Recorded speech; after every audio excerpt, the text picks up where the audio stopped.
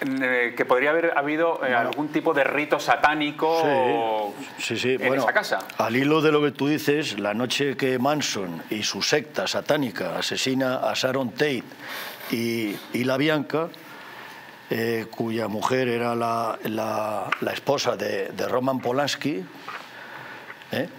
pues efectivamente esa noche estaban invitados a esa cena Bruce Lee, que al final no fue porque se encontraba indispuesto, y la palabra helter-skelter es una palabra límite que, que, denota los rasgos de un psicópata. Que voy a leer, con tu permiso, los rasgos de un psicópata. Los rasgos de un psicópata fundamentalmente son locuacidad y encanto personal.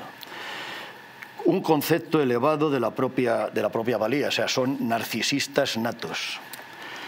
Eh, tienen una, necesidad de estimulación, son mentirosos patológicos, manipulación y engaño, ausencia de sentimiento de culpa, escasa profundidad de los sentimientos, crueldad y falta de empatía y asertividad, eh, estilo de vida parasitario, control deficiente de la conducta, conducta sensual promiscua. Normalmente estos sujetos suelen ser sexualmente absolutamente incompetentes. Entonces esa, esa frustración de incompetencia, porque no consiguen una erección, la pagan eh, con esa frustración violenta hacia la mujer, asesinándola, golpeándola, etcétera, etcétera.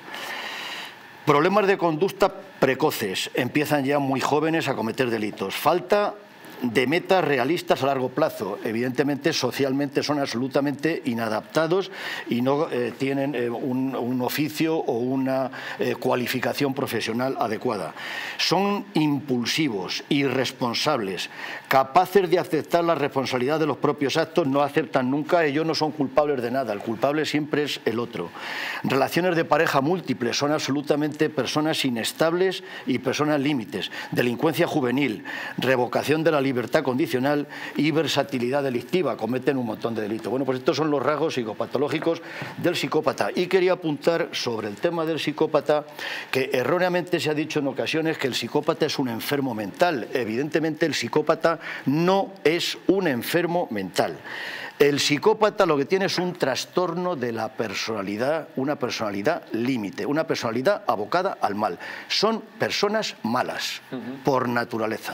Eso es lo que quería eh, Vemos que eh, esto que mm, aparece en la, en la, pared de Alfonso, Helter Skelter, lo vemos también eh, como estaba, digamos, en un altar con velas haciendo alusión claramente, Mavi, a que podía haber habido en esa casa una especie de rito satánico. ¿Tú crees que puede ir también por ahí las cosas? Es decir, que se grababa, como estabas diciendo antes, pero que además era también con esas connotaciones de satánicas. Sí, porque eh, por eso estaban las cámaras, las cámaras que descolgaron y se llevó esta mujer. Él tenía unas cámaras en la habitación donde estaba esto. Pero, eso tienes constancia. Sí, sí, eso, está, eso, está... en los autos. Igual que están los autos de la primera vez que entró la policía, encontraron una cosa. Y a la segunda vez que entró la policía encuentran una bata con sangre falsa y unos guantes, que eso no estaba. Es decir, que posiblemente hasta perdóname, el tiempo... perdóname, porque eh, cuando entra primero la policía para investigar el suicidio, había unas cámaras ¿En la habitación de Alfonso? Había, eh, sí, en la habitación eh, donde él grababa y así estas cosas, había una cámara puesta en la pared donde está el Helter y... Sí, Helter, Skelter. Skelter. Y creo que había otra eh, a la entrada del salón, ahí era una cámara fotográfica. Todo eso se lo llevaron. Y luego cuando llega el grupo de homicidios, es decir, ya porque ya saben que está ahí Milena, en esa segunda vez que va la policía, ya no están esas casas, ya no están esas cámaras. No, no, sí, su mujer se dedicó a llevarse todo menos la nota. Y nadie le ha requerido a la, a la mujer danos las cámaras a ver qué había, qué contenidos había. Nadie.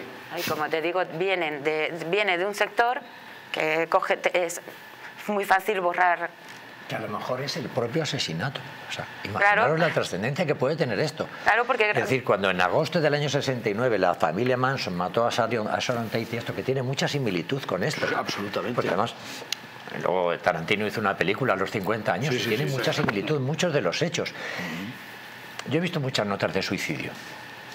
En las notas de suicidio pone casi siempre la causa del suicidio.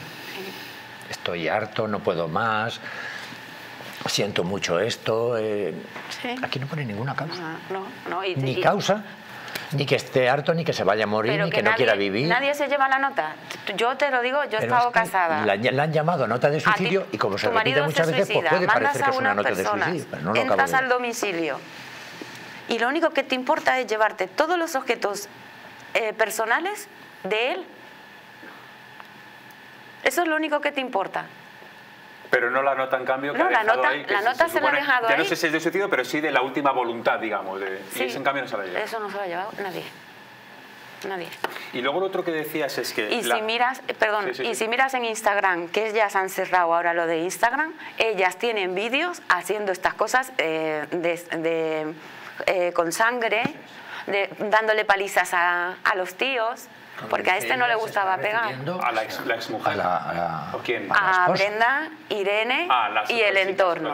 sí, tienen, tienen, tienen ahí vídeos. Eso Esa chica que estuvo en la vivienda eh, bastante tiempo con él, después de supuestamente cuando dicen ellos, que yo no me lo creo, que falleció mi hija, esa chica estuvo en el domicilio con este hombre todo el día, pero es que la otra también había quedado. ¿Qué estuvo haciendo esa chica ahí? Si es un piso de 40 metros, y es, es nada es nada.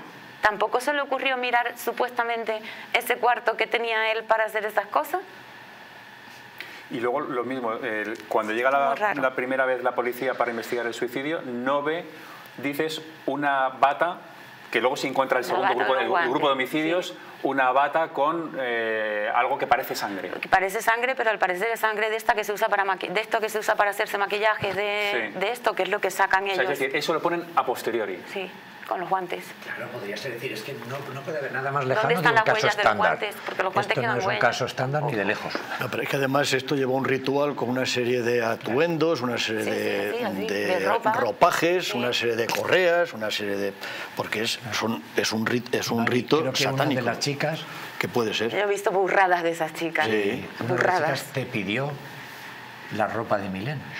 Una, una amiga, pero yo eso es algo que se lleva pidiendo desde el principio. Eh, me dijo una persona del juzgado que llamara a la comisaría de Alcalá de Henares para recoger las cosas de mi niña, sobre todo los libros que yo le he comprado, que tampoco son, son muchos los que se llevó.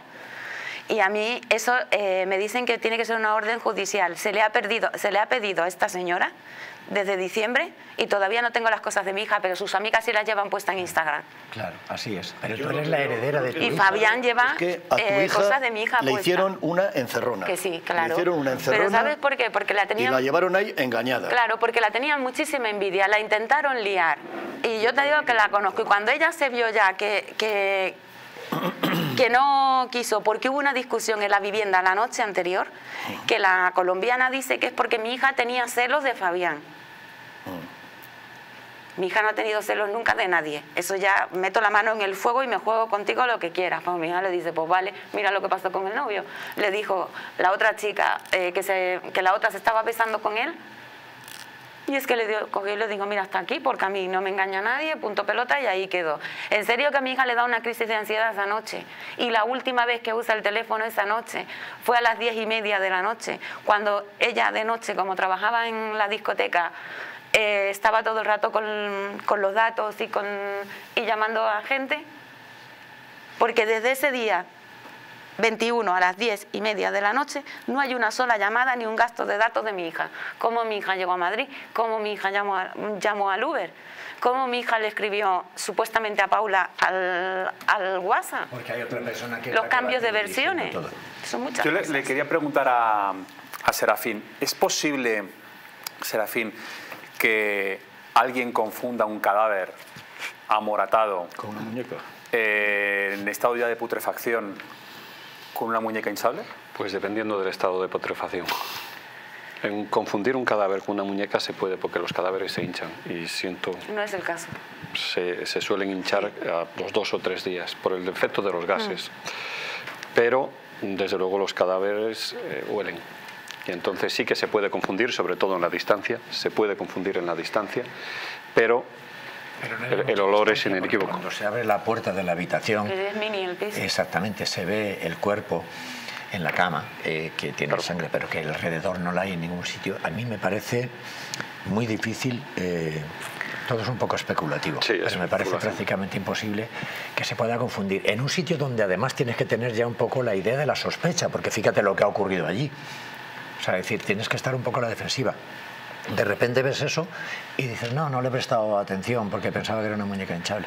la policía no entra, luego que si era una muñeca hinchable. Lo que pasa es que es cierto, que los gases inflaman a los cadáveres, sobre todo a los dos o tres días, y se puede, se puede confundir. Lo que pasa es que a los dos o tres días el cadáver huele. Por, eso, por eso yo creía, yo quería ver y me enseñaron una foto muchas veces nos enseñan fotos precisamente por, no causar más daño. no, me, enseñaron, me enseñaron una foto eh, tal, porque se estuvo barajando ese tema y, no. No se parecía, no estaba... Yo te digo porque a mí solo me dejaron verla eh, cinco minutos en el tanatorio y por caridad. Y la niña tenía un golpe en la nariz, tenía la naricita hinchada tenía un golpe aquí. Un golpe en la cabeza. Sí, aquí. Grande. Estaba policontusionada. Sí, pero había un golpe en la cabeza que podía ser mortal. Y tenía el pelito todo recogido así, mojado, y unos hematomas aquí. El resto no lo pude ver porque solo me dejaron eh, ver esto y la habían metido en una bolsa de plástico.